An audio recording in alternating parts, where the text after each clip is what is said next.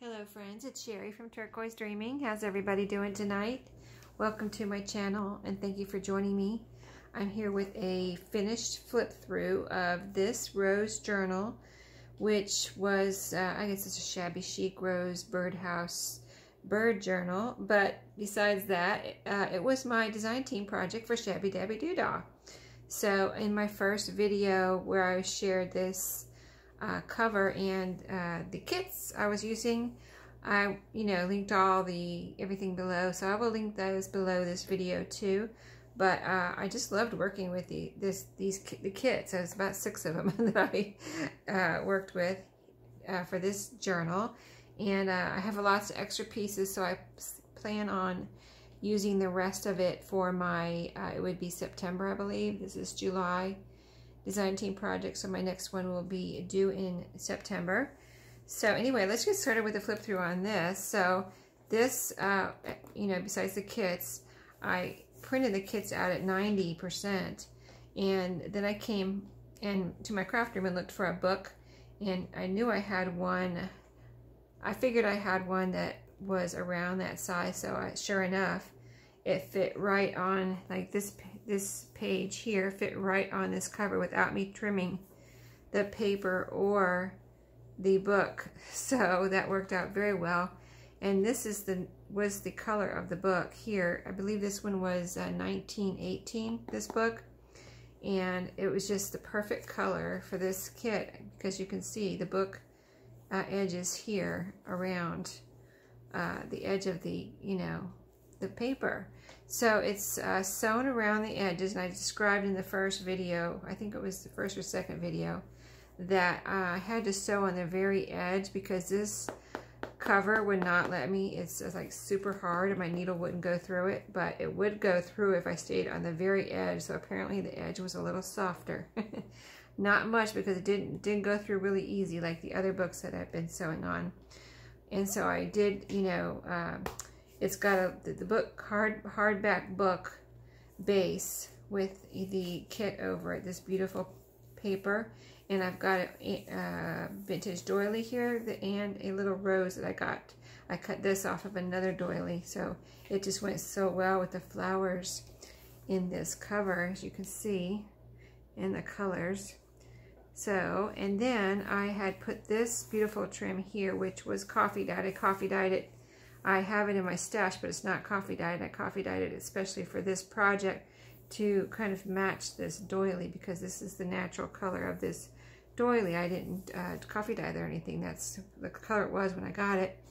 And so then I uh, actually sewed. I was debating on whether to sew on the spine, and I did. I did, and it, this, this thread that I was using, it goes so well you can hardly even see that it's sewn, but it is sewn here and in the like groove here around the spine on the top and in you know in the other groove. So this is sewn around here.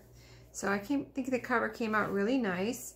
I did a hitch post, post closure so it's got the hitch post over here and it's got an eyelet over here and I got some of these solid uh, hair ties that you use for this. I didn't have before I had the ones with the metal on them and then I discovered I was like why why not why don't I get some of these without the metal?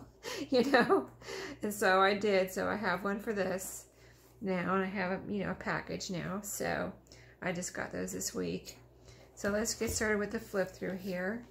Uh, so inside the cover the paper was so beautiful and someone that gets this can put a pocket or anything they want here inside the cover.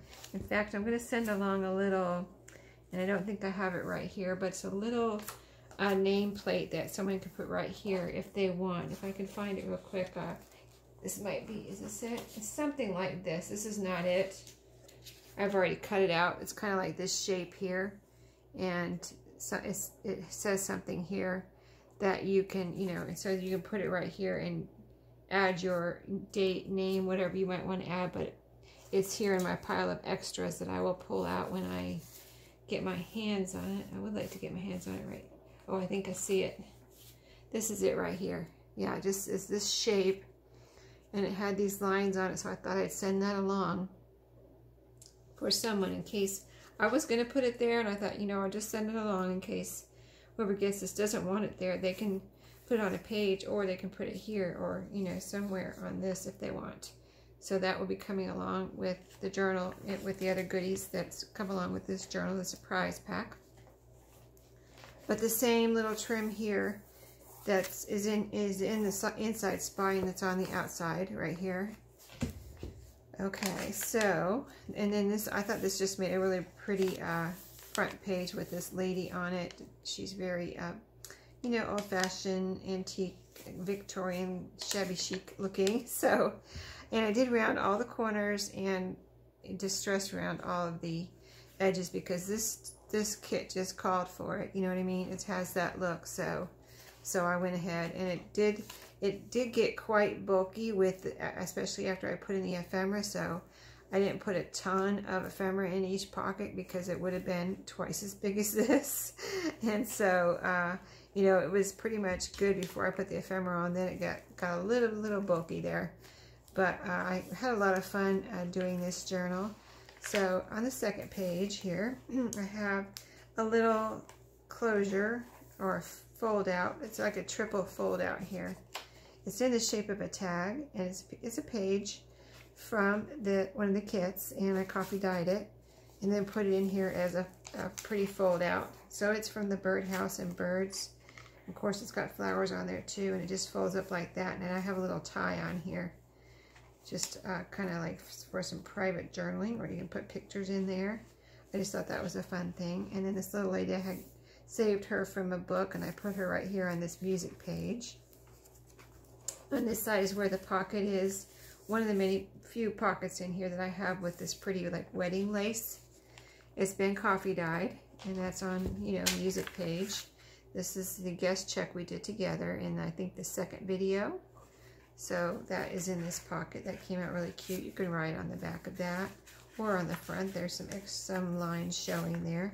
And that was a fabric butterfly that we cut out together and put down there uh, from some upholstery fabric that I had. A ledger page here. And this is, uh, I think this is either coffee dyed or avocado dyed. But here's some more of that upholstery here. I cut out a few pieces and used it throughout the journal. And it was so pretty and went so well with this journal that I just cut cut a couple pieces out there to decorate that page.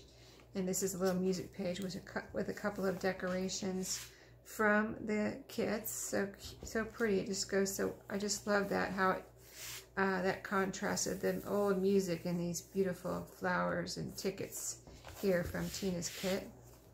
This is a beautiful page here with the blue.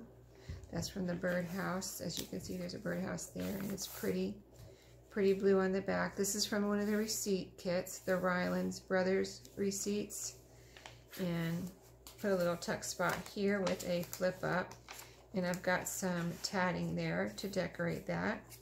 And some ledger paper here.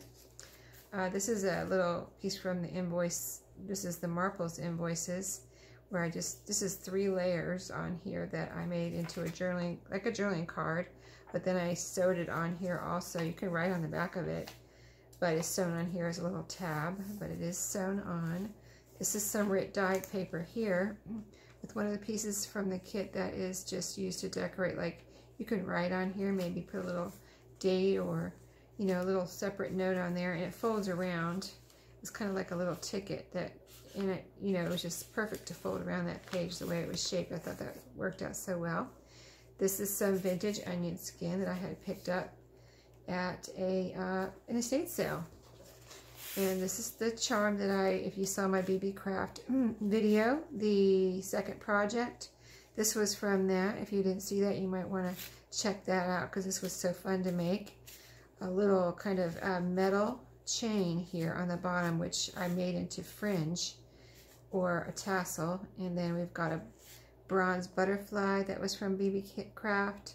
And the uh, the chain was from, from BB Craft. And these bead uh, caps here.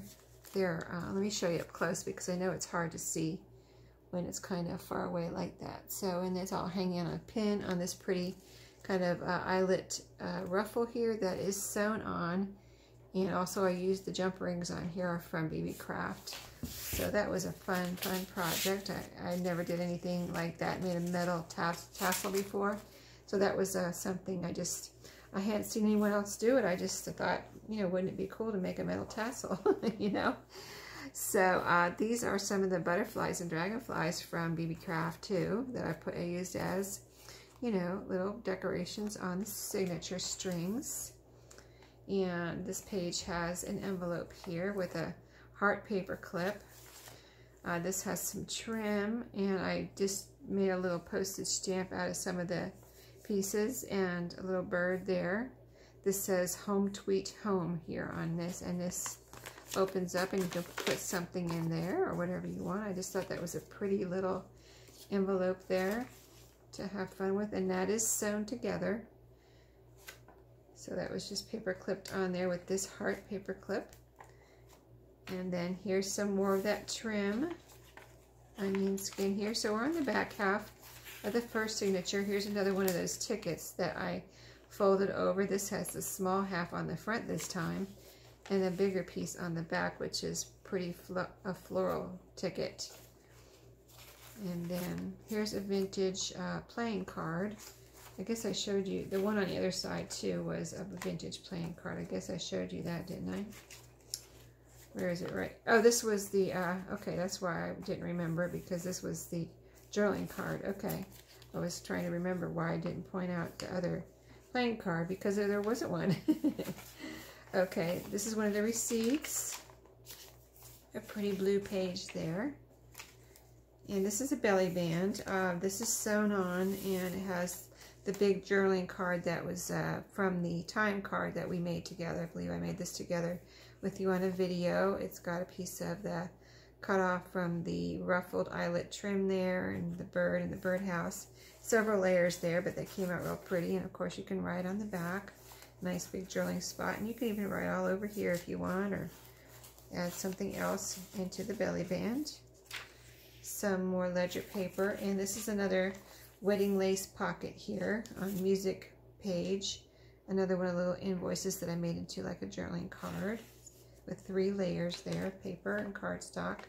This is the back page of the first signature and I made a little fold out here. It's hinged with paper so that it's all together and I didn't want to uh, cover up anything with washi or anything. I didn't really have any washi that would match this.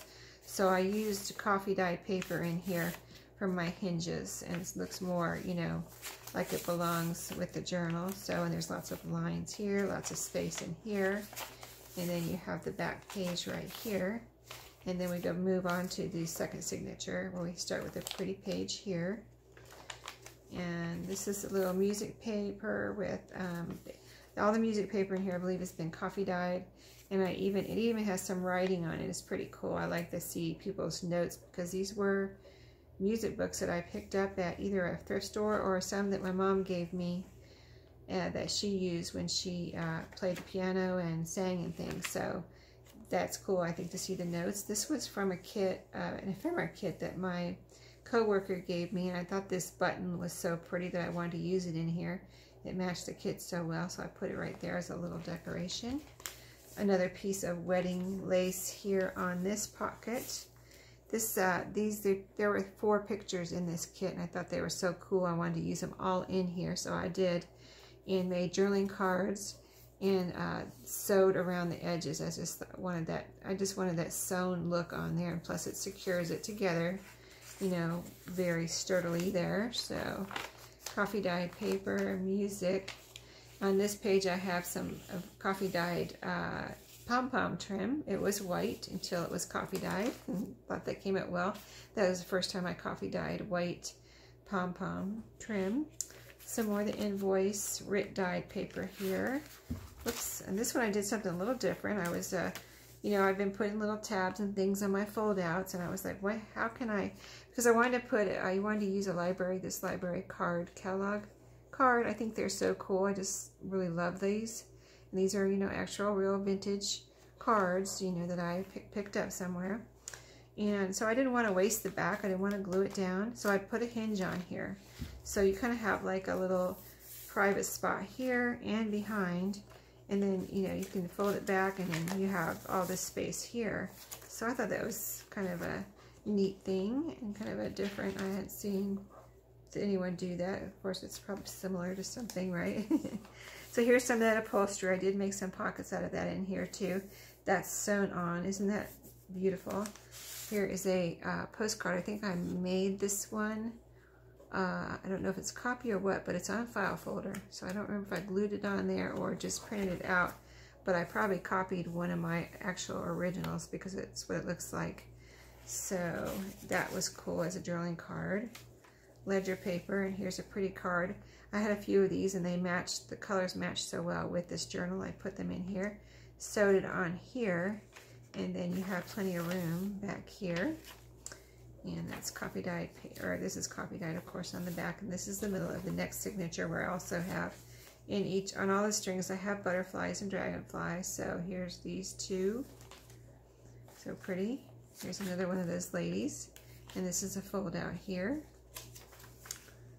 And this is a little pocket here, the upholstery fabric pocket. And another one of the pictures that I told you about on, this one's on file folder and it's sewn around.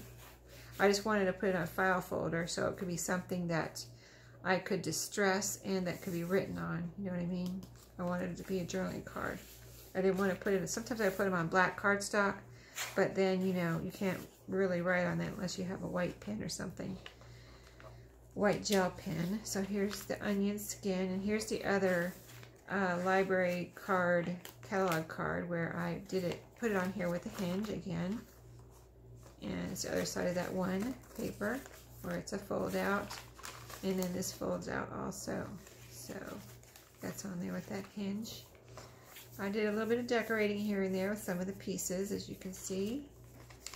And trim here, and here's some more decorating right here. I got a, there's there are some really pretty tickets in there, and then there's the birds. And then we have another flip up here that is also a tuck spot with some of that, it looks like tatting to me, and then a tag that we made together on one of my videos uh, with some of the uh, pieces from the kit and that is in there. Another wedding lace pocket here on this music page, and this is a piece of um, this is a postcard. We just I just did this the other day on my uh, Scrappy Saturday video where, I was working with scraps, and this postcard was in my scraps, and I needed to recover it because it wasn't wasn't nice on the front. It was coming apart actually and like the it was like two layers or something and this front layer was starting to come off or tear or something so I just recovered it with some pieces and I think it came out really pretty and then you still have the original back to look at and the stamp and everything. So I thought that was cool. Um, yeah you can still you can see the tear right here too. So if you want to put tape or something on there you can. I didn't. I just put a layer over here to help sturdy it up, but um, you can see where it was coming through here. So whoever gets this, if you want to put tape there to preserve that, or I mean I could, but I just wanted to leave that for whoever got it. So this is the back page of the second signature where I put an envelope here. Now this little butterfly here holds the flap down. You can just tuck the flap in between his uh, little wings there. In here I have another one of the pictures and uh, these pictures were really fun, actually, to, to um, you know, put on cardstock or whatever. So I put on a file folder. And then this one, I put some coffee dyed paper on the back, sewed around it. But it's so cool because if you can see the spots here, this is how it printed out with these spots, like actually an actual old picture. So then I distressed it and kind of like what I call messy distressed it so that I added to the spots, you know what I mean? Looks like it, it was always all together like this almost. So I thought that turned out really cool. So that is in there. And then behind here, I have a little tuck spot right here, and there's a card in here. This is a pretty, just kind of a. Uh, I've got this at a thrift store. It opens up like this, so there's plenty of room in here to do something. And uh, this is actually a place in North Carolina called Old Salem in Winston-Salem. And it's just a really, uh, it is, they are old buildings. I've been, I've been there once since I lived here. And it's kind of like a tourist spot where you can go through the old buildings and see how they used to do things uh, a long time ago in North Carolina. One of those type places, so pretty cool. Okay, third signature. Uh, we've got a pretty birdhouse here with a little bird. These these uh, this, these kits are so pretty. I decorated this, you can see music page here with another wedding lace pocket and another picture. This one has coffee dyed paper on the back. It's layered with um, this file folder. See, I, you've probably heard me say, and if you're new to my channel, I recycle file folders from my office. I rescue them from the trash, right? so sometimes they have writing on them, and that's what this one had on it. And the other one that I put coffee dyed paper on had writing on the back, so I still used it. I uh, put the picture on this side, and then covered up the back side where the writing was with some coffee dye paper and then sewed around it and distressed it. So that's why that has three layers instead of two, just the picture and the cop and the file folder. So uh, as we move on, you can see more pretty pages. That's a receipt. So this one I put like two receipts together. I sewed them together, you know, so I I put them together, rounded the corners distressed, all that like a normal page, normal two pages. Then I sewed them together. So I sewed them across the top, I sewed them across the middle, and I sewed them across the bottom so that I could have two pockets here. So there's two little like finger spots here where you can pull out a tag. I just want to do, you know, I like to do different things in each journal and make each one different. So it has a, you know, a journaling card in here, a little tag in this one. And the other side is going to have pockets too. You'll see that when we get to that. So here's the RIT dyed paper in this one. This one has a little butterfly tab. There, something different. You know, I don't want to do it all the same in all the signatures. Uh, here's the ruffle. I just put two ruffles in here. I didn't want to make it too frilly, but a little bit, you know, to go with the shabby chic feeling. Uh, ledger paper here with that. These are really pretty uh, playing cards here that's sewn on as a tab. And then here's the middle with the butterfly and the dragonfly right here. Let me get them up here. So pretty. And then here we are on the back half of the third signature. This uh, journal is approximately 5 by 7 and I have all the measurements and the number of pages in the listing. Here's some trim on this page and this is onion skin paper, Rit dyed, you know, and this little this is a little uh, game card here that was from a kids game about money. so that is on there as a tab. But, uh, okay, here's the other side of that page with the pockets, you know, the two receipts I sewed together. So this is the journaling card in this pocket, and there's a journaling card in this pocket. And it's pretty easy to access with that little finger hole there. That's a little postcard in there, like a mini postcard. So yeah, so in the pages, there's three signatures, and I think there was uh, about 20 pages in each signature, and if you count fronts and backs, that would be 40 pages in each signature. So, um, but I added, you know, I kept adding a, a, one or two here and there. So there's a little over uh, 120 pages, something like that in here. Here's some of that upholstery. I want to do something different in this signature. You know, each, I didn't want to make each signature the same. You know what I mean? I wanted to meet, you know, use some of the same elements, but do different things. So this is what I did with the upholstery in this one. I made a little trim here with these, they're pinking sheared, cut around the little squares here and just sewed them on this page as a pretty trim. That just is some gorgeous, gorgeous upholstery. Here's the wedding pocket here in this back half.